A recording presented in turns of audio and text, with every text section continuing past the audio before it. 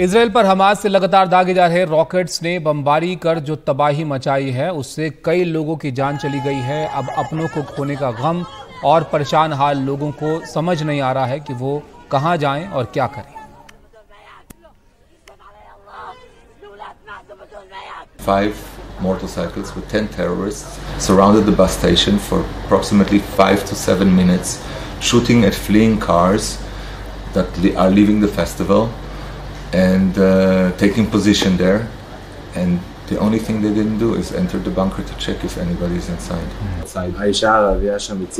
And there was an Arabic woman on the bus station, and she got shot, not him. Yes. They shot. They shot an Arabic. She saved his life. They didn't see him.